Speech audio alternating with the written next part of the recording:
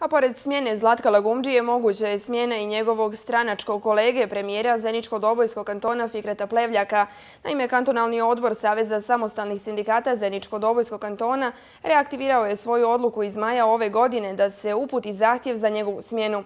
Zahtjev je upućen na adrese stranaka koje trenutno čine parlamentarnu većinu u ovom kantonu. Rok za smjenu je mjesec dana, a ukoliko se Plevljak ne povuče sa pozicije, sindikati najavljuju radikalne poteze.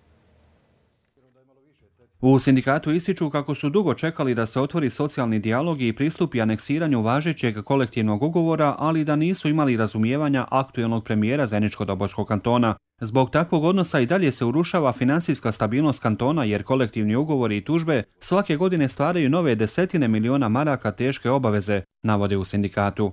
Na naše insistiranje da se otvore pregovori između partnera koji su jedini i legitimni da potpišu izmene aneksa kolektivnog ugovora, vlada ne reagira. Na svaki pokušaj da institucionalno riješimo izmjene i dopune kolektivnog ugovora, stvari koje neštime u radnom zakonodavstvu, nama se prijeti jednostranim otkazivanjima.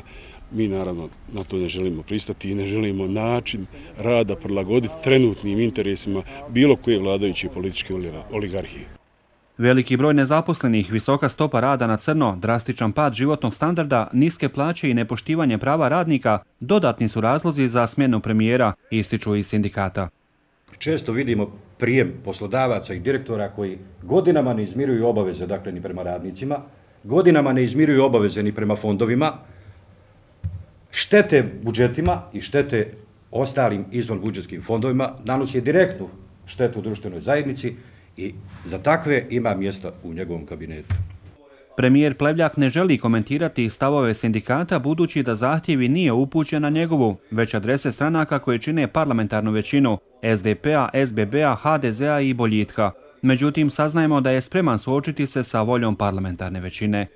Mogu da kažem da je premijer rekao meni kao trenutno vodećim, odnosno predsjedavajućem Skupštine kantona, da on želi da se ovo pitanje razmotri na skupštinskom zasjedanju i da on želi sa vladom da se očituje po ovome pitanju. Radišić dodaje kako je ovo osjetljivo i teško vrijeme kada su u pitanju zahtjevi sindikata, ali da SDP insistira na dijalogu i obostrano korektnoj saradnji.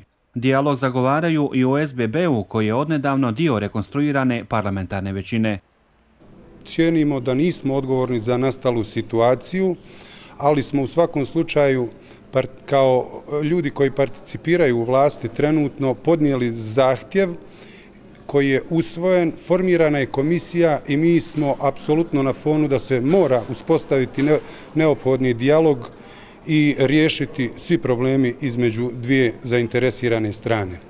Sindikati su dali rok od 30 dana za smjenu premijera Plevljaka. Ukoliko do smjene ne dođe, najavljuju radikalne poteze, uključujući i masovne proteste pred sjedištem kantonalnih institucija.